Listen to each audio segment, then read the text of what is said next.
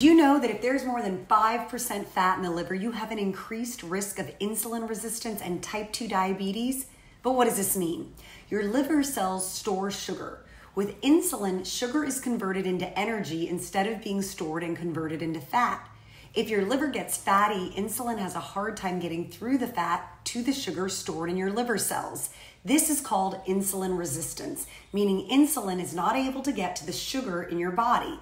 When this happens, your pancreas works harder, producing more insulin and becomes exhausted, and your body will not be able to properly convert sugar into energy. You'll crave more sugar and caffeine. You'll have afternoon energy crashes. It will become harder to lose weight, especially around your belly. Slowly, the pancreas will wear out. When that happens, it's called diabetes. The stages to be aware of are one, fatty liver, two, prediabetes, three, diabetes.